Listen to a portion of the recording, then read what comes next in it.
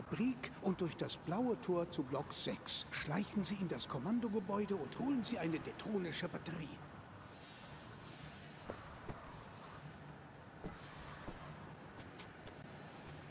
Ja, und damit herzlich willkommen zurück zu Wolfenstein. Riese, passen Sie auf. Sie müssen nun das Tor passieren, durch das Sie hereingekommen sind, dann weiter, durch die Fabrik, dann durch das blaue Tor zu Block 6. Dort suchen Sie sich einen Weg ins Kommandogebäude. Da finden Sie die detronische Batterie. Ich hab's ja begriffen. Ja, also herzlich willkommen zurück zu Wolfenstein. Wir wollen jetzt endlich die detronische Batterie holen, nachdem wir in der letzten Folge das Sicherheitssystem außer Gefecht gesetzt haben. Und das Messer getötet haben. Okay, da kommen wir nicht rein. Vielleicht wollen wir da auch einfach nicht rein. Ähm, ja. Dann gucken wir mal, ob wir die detronische Batterie so einfach ohne Probleme bekommen können. Ich fürchte ja eher nicht. Oh Mann.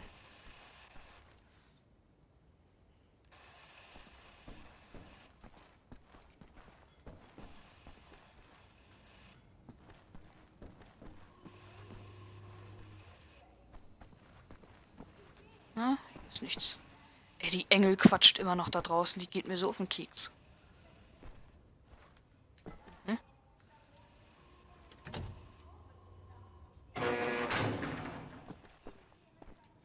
Das sind wir, Kommandogebäude. Wie, und hier ist nichts los, oder was? Da liegt doch was. Da leuchtet was. Ein Medikit. Na toll. Oder Medischock. Für uns. Sonst noch irgendwas? Nö. Hier können wir wahrscheinlich hochgehen, ja? Ich glaube, wir wollen erstmal hier unten gucken, was es so gibt. Hier ist nix. Ja, da passt der dicke Kerl natürlich nicht durch. Also, das heißt dick. Der wunderbar gebaute Kerl.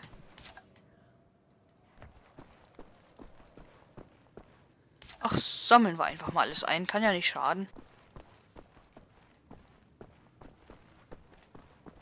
Kommen wir rein, denke ich mal. Also da.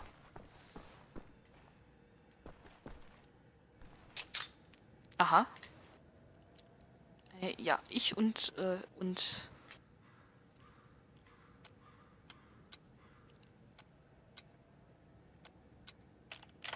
Oh. Ja, das, das ging ja dann doch. Ne, da ist nix. Da irgendwas? Nö.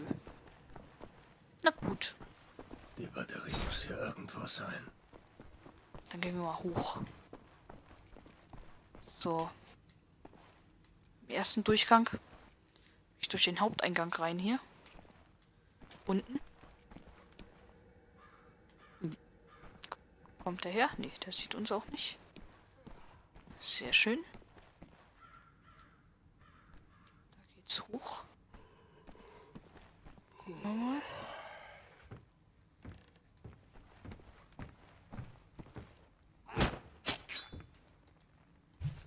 So, Limit erreicht. Geht hier noch irgendwo einer lang? Nö. Nö. Na, oder doch? Oh.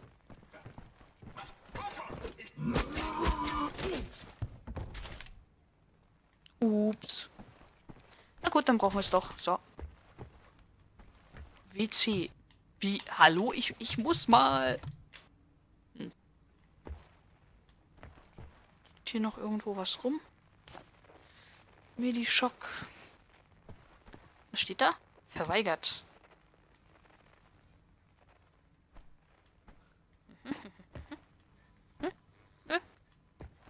Schnarcht hier irgendwo wer? Oder ist das nur so ein komisches Rauschen?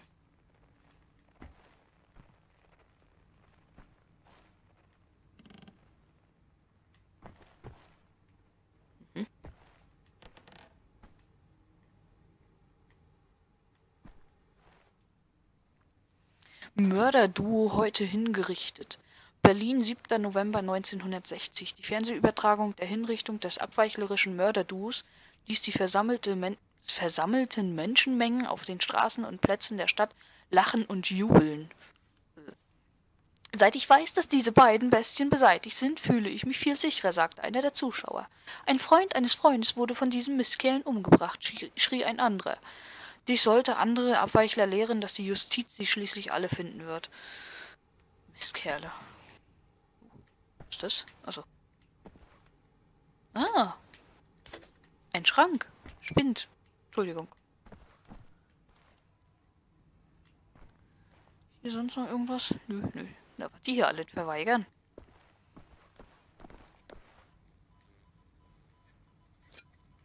Da war wohl einem langweilig. Wenn wir uns den Tisch da so angucken. Nö, hier liegt nichts rum. Hier können wir auch nichts machen. Schade. Gehen wir erst hoch oder gehen wir erst runter? Achso, da geht's runter. Was ist hier noch? Nix.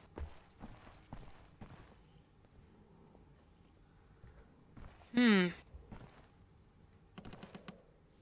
Ups. Ich denke, wir gehen erstmal hoch.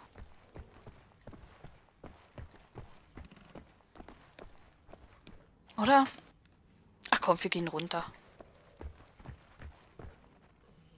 Oder nicht? Ich bin so unentschlossen gerade. Ach, wir gehen erst hoch. Das ist vielleicht die Aussicht schön.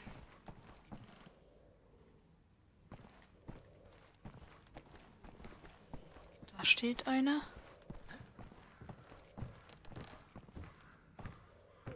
Der ist allerdings ein bisschen döschig.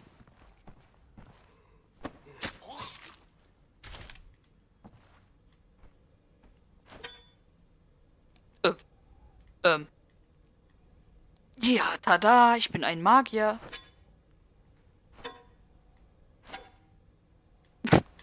Okay.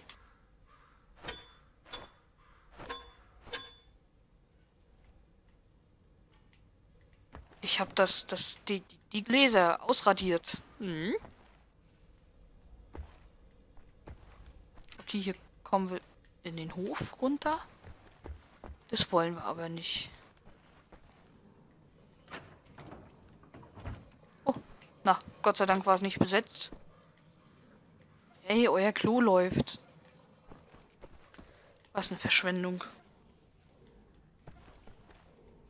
Mhm. Hm.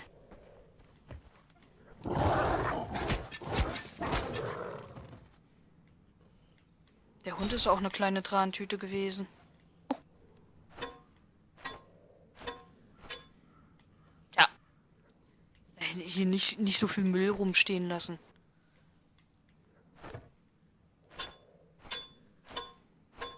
Ja, okay, ist auch wieder gut. So. Hier noch irgendwas rum? Außer einem Messerchen nicht viel. Können wir irgendwas machen? Irgendwo? Nein. Oh, jam, jam, jam. Der Hund braucht es ja nicht mehr. Aha. Okay, da, da wären wir also hochgekommen hier. Na gut. Voriges Zimmer. Rieche ihr Parfum. Äh.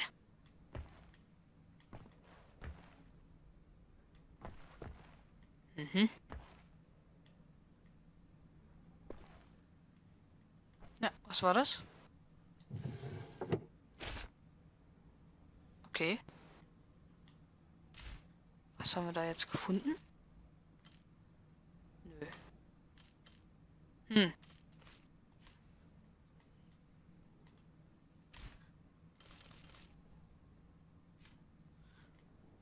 Okay. Leitartikel. Widerstandszellen aktiv. Berlin, 7. November 1960. Viele von uns dachten, dass die Terroristenzellen in und um Berlin herum nach einem halben Jahr der Inaktivität endlich ausgelöscht wären. Doch seit der Flucht eines wichtigen Mitglieds des Widerstands vor einigen Wochen deuten beunruhigende Ereignisse in letzter Zeit auf eine Reaktivierung von Zellen hin. Die enthauptete Leiche eines hochrangigen Kommandanten unter, General Straßes Befehl wurde erst vor zwei Tagen auf dem Grund eines Flusses in der Nähe der polnischen Stadt Gdingen oder Golingen? Nee, Gdingen entdeckt. Waren die sechs Monate des Friedens vielleicht nur die Ruhe vor dem Sturm? Ja, waren sie. Okay, dann müssen wir tatsächlich runter.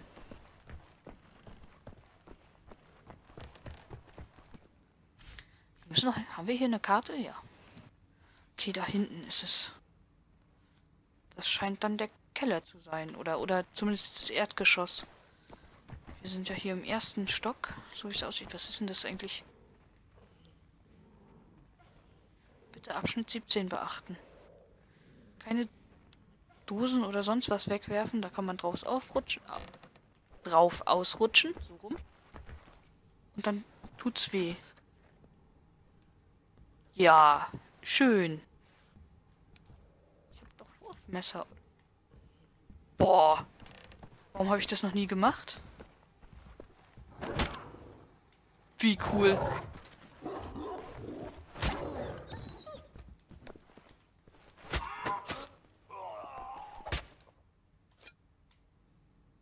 Das war einfach. Das war in der Tat einfach. Nun gut. Hm. Ne? Ja, Rüstung ist voll. Sieht schon cool aus mit den zwei Messern, oder? Ah ja, hier, hier wären wir auch gar nicht reingekommen, okay. Hm. Aber ich bin beim letzten Mal auf jeden Fall nicht da unten durchgekommen, sondern bin woanders lang gegangen. Hier noch irgendwo was? Ausströmendes Gas löst Explosionen im London Nautica aus. Hm.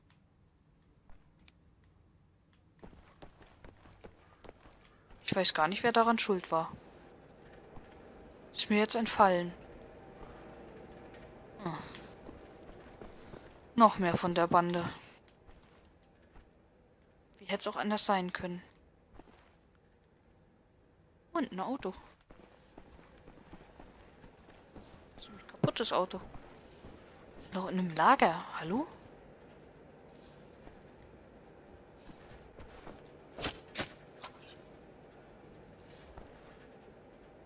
Denn der zweite? Hallo?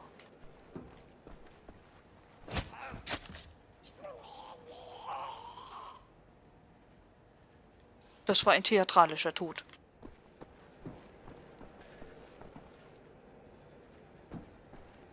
hier irgendwo sonst noch was rum?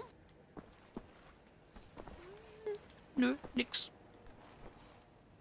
Wie schade. Ja, nö. Nö, nö. Meine Güte.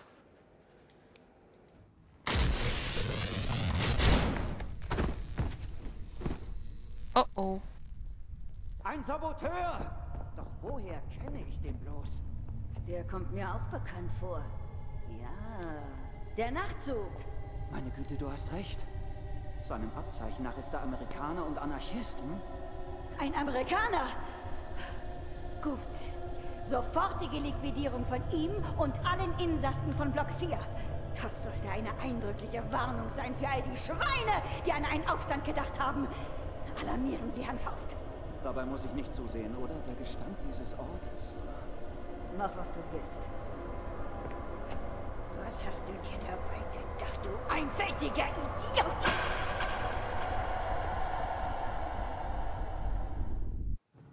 Weitermachen, Herr Faust! Oh Mann.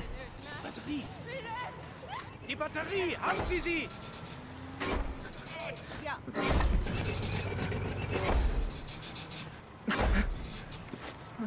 Aufstehen! Oh Mann.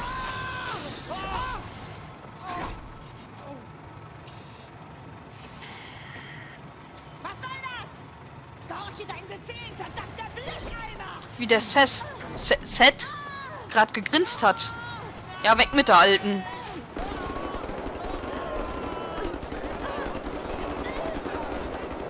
Ugh. Aber was halten die Alte alles auf? Ugh. Äh.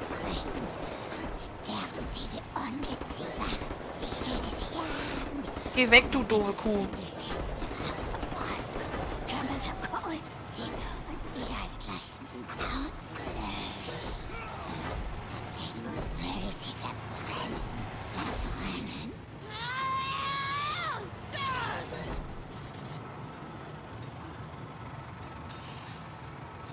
Schön weg mit Alten. So war gut. Puh. Setzen Sie sich, großer Mann. Was? Jetzt befreien wir die anderen. Verstanden? Oha. Wir gehen ins Lager, öffnen die Garage, dann klauen wir ein Fahrzeug und durchbrechen die Tore. Los! Ja, ich kann das ja auch so gut. Was? Wie? Oh.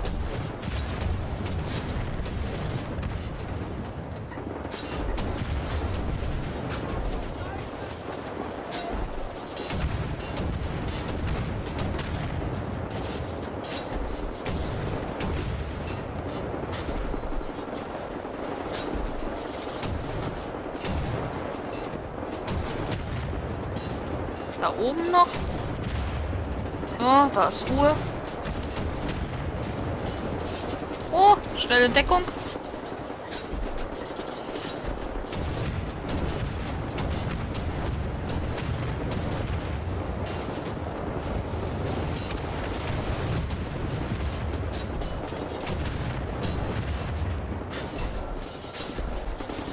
Gehen wir mal weiter.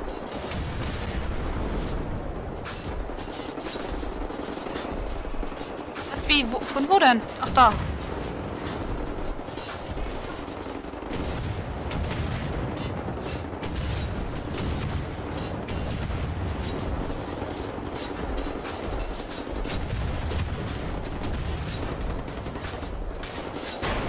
Äh, wie es Flatsch gemacht hat, einfach mal.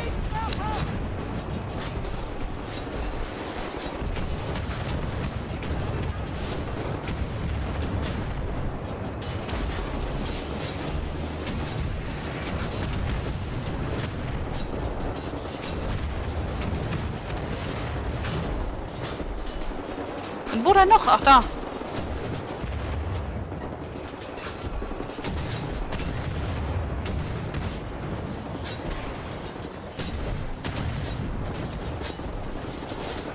Oh, Mist, Mist, Mist, Mist, Mist, Mist.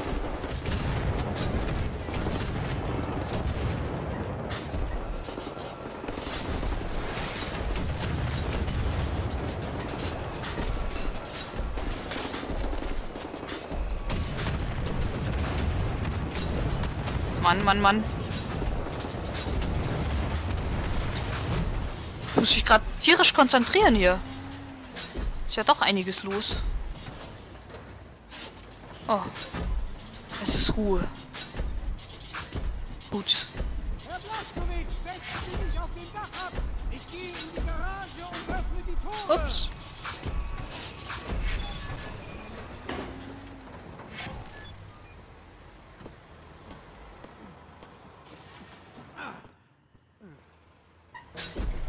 Man das aufsammeln? Nö, schade.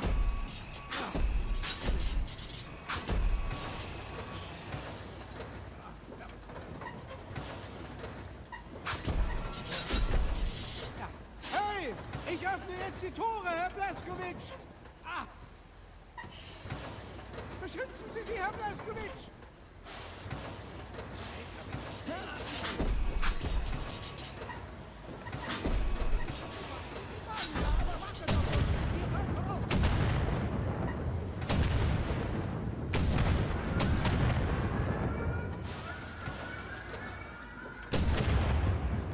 Hier liegt einiges rum. Oh. Was ist denn jetzt los? Boah.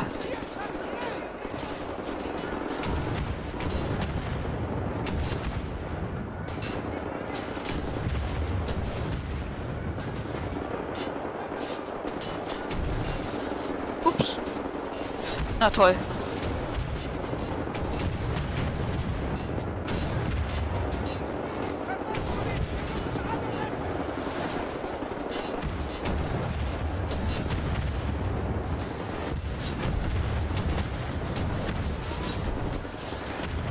Boah, von wo denn?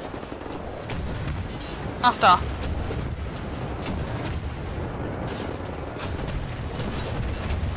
Oh, Mann.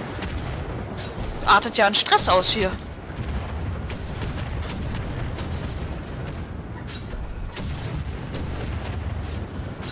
Oh. Hoffentlich überleben wir das. Was denn? Wie denn? Wo denn? Ach, da.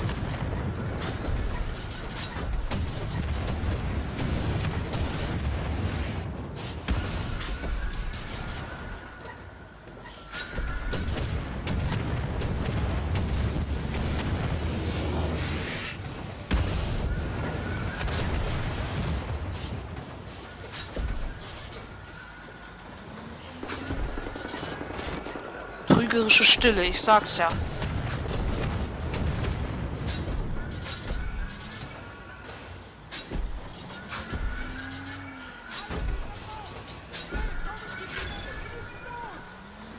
So, schnell ein bisschen was sammeln. Ich hoffe, das bringt überhaupt was. Ist hier irgendwas? Hier noch irgendwas? Schnell mal umgucken. Nö. Hier ist auch nichts. Scheint auch nur Rüstung zu sein. Gut, dann mal zu Set.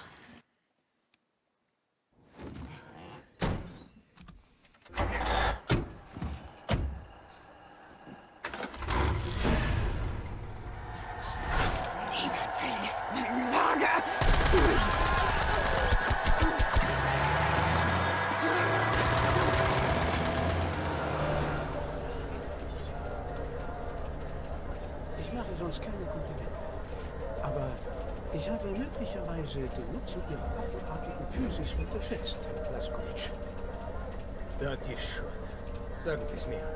Wer sind die? Edati Shut sind eine uralte mystische Gruppierung. Über Jahrtausende war absolute Geheimhaltung unser oberstes Gebot. Was wollen Sie tun? Beten, oder? Nein, nein, mein Kind, wir beten nicht, wir erfinden Dinge, verstehen Sie? Die Technologie, die die Dati Shut entwickelt haben, ist allem, was Sie jemals gesehen oder sich vorstellen können, um Jahrhunderte voraus und hochgefährlich in den falschen Händen. Das Regime hat unser Versteck gefunden, unsere Geheimnisse gestohlen und damit den Krieg gewonnen. Alles, was sie erreicht haben, einfach alles basiert auf unserem Wissen. Aber es gibt nicht nur ein Versteck. Wir haben Hunderte davon an den geheimsten Orten auf der Welt. Hunderte. Manche klein und provisorisch, wie das vom Regime entdeckte. Andere groß und bis oben hin vollgestopft mit Wissen, unglaublichen Erfindungen, Dingen, die ihnen wie Magie vorkommen würden. Nun, ich kann sie an einen solchen Ort führen, aber es wird nicht leicht. Was brauchen wir? Das Versteck, das ich meine, liegt tief im Atlantik. Wir brauchen ein U-Boot, das extrem tief tauchen kann. Das ist alles. Aber wir können doch nicht einfach so losgehen und ein gottverdammtes U-Boot klauen, oder? Ich weiß, wo wir eins herbekommen. Aber damit es klappt, muss das Ding hier funktionieren. Kriegen Sie das hin? Madame, ich bin ein Ingenieur der Dati-Shoot. Sowas kann ich im Schlaf. Gut. Wir bräuchten daran auch noch ein paar zusätzliche Modifikationen. Ich werde die Details für Sie notieren. Blaskowitz, Sie helfen ihm dabei, ja?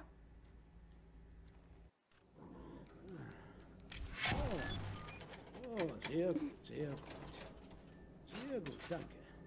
Oh, Herr Blaskowitsch, ich bräuchte noch ein Schweißgerät. Bitte.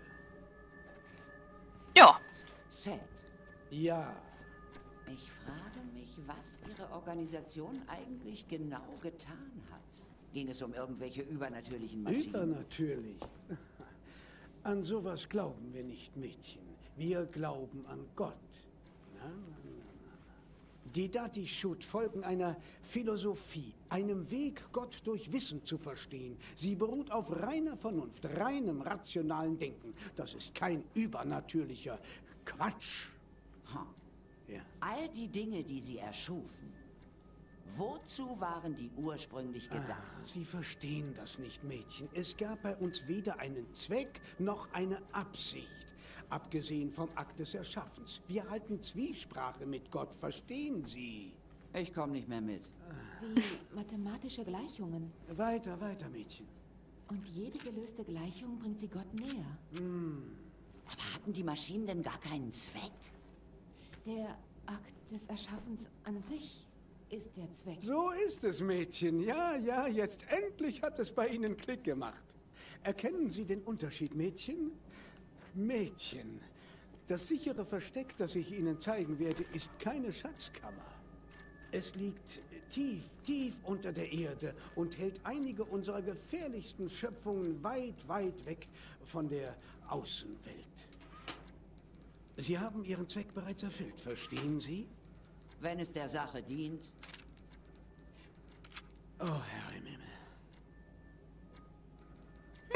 Interessant, interessant. Ja, aber das Schweißgerät suchen wir in der nächsten Folge. Ich verabschiede mich. Bis dahin. Ciao.